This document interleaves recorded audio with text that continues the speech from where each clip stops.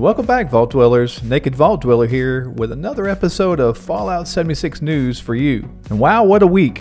Update 21 dropped, and although some interesting stuff came with it, many of us were disappointed to find out that a colossal event was pushed even further out. Now, suppose we don't want another Fasnacht situation, so I'd rather they get the blooming issues fixed now than to be elbow deep and they end up pulling the plug. And Bethesda does say they hope to start the event within the next couple of weeks, so I'll be sure to keep you posted when I find out more. I do, however, want to take a moment to thank you for all your support. It's been an awesome week, and I'm glad to see that many new faces in our Discord channel. Way back 100 years ago, or 5 months ago, when I started this channel, I set the goal that if I ever made 500 subs, I'd get a new microphone. And now that I've hit 500, I've barely had a chance to tell everyone that if I make a thousand subscribers, I'll get a new PC. And with a new PC, I can make even better productions. And we're even at the freaking doorstep of 700. Awesome! And by the way, the new mic, it's on back order. It's going to be another three weeks before it gets to my door. Thanks, Amazon. And again, thank you guys for all your support. Now let's get on to the video. Some of you may already know about the latest edition of Inside the Vault, which mainly covers the upcoming QuakeCon kickoff that starts tomorrow at 12 p.m. Eastern Standard Time. And I know I'll definitely be checking out some of the online events that Bethesda is sponsoring, so be sure to look for me. And if you see me,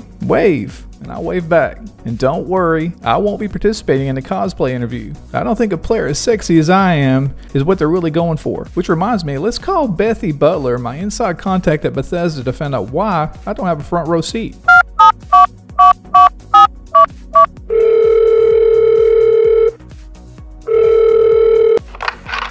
Thank you for calling Bethesda. This is Bethy. How may I assist you? Bethy, Naked Vault Dweller, you want to tell me why I didn't get an invitation to the cosplay event at QuakeCon this year? I told you, Naked, there's just no more spots available this year for you. That's ridiculous. This is a freaking online event. Put Tim Sweeney on the line. I want to get shit fixed. Naked, you are the one that's ridiculous. And why is that? Because, Naked Vault Dweller, Tim Sweeney is the CEO of Epic Games, you moron. Huh. I think we got disconnected. I'll see if I can't get my producer Howard to get her back on the line. Meanwhile, QuakeCon.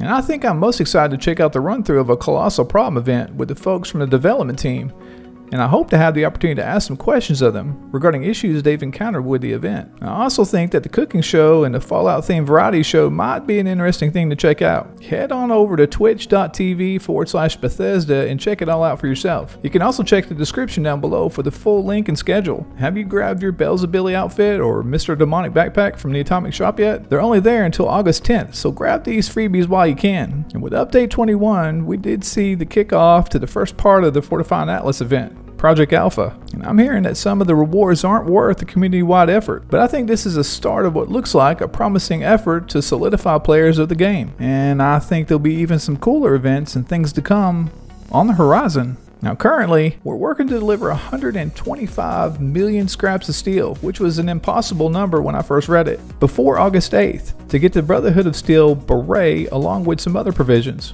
The beret will be available for grabs August 11th, but only if we successfully complete the steel challenge, which by the end of this video, we should have it. As of posting time on August 6th, we are super close to reaching our goal with 122 million pounds already delivered. Keep track of all of our progress by visiting the events page linked in the description down below. Remember, the Brotherhood of Steel camp banner is next, so starting on the 9th, we need to find all the concrete we can. And speaking of concrete, post your favorite places to get concrete down below in the comments, and I'll try to throw together a top 5 places to get concrete and have it out there for you. And with that, that's pretty much all the Fallout 76 news that I can deliver for you today. And in the meantime, this is the Naked Vault Dweller signing off.